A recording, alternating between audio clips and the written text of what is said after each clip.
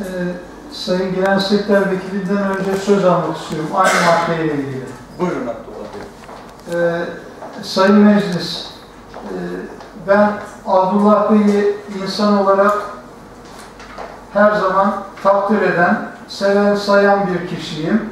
Görevinde de bugüne kadar beyefendi kişiliğinden en ufak bir e, şüpheye düşmüşlüğüm veya bana aktarılmış bir konu olmadığını meclise belirtmek isterim.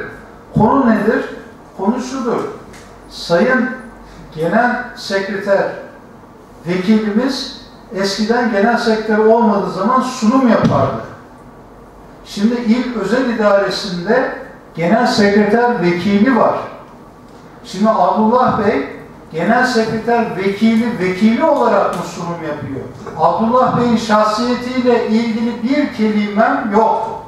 Genel sekreter vekili varsa meclisin huzuruna gelecek, icraatını yaptıklarını, yapamadıklarını anlatacak. Yani meclisi rencide eden her çalışmaya Abdullah Batur karşı durur. Efendim benim gerçeği böyle. Gerçelik görevini yap kardeşim o zaman. Gerçek görevini yap. Buraya gelip bu sunumu yapamayacaksan gerçek görevini yap. Yapacaksan yap. Doğru yaptıklarını alkışlayalım, eğri yaptıklarını eleştirelim.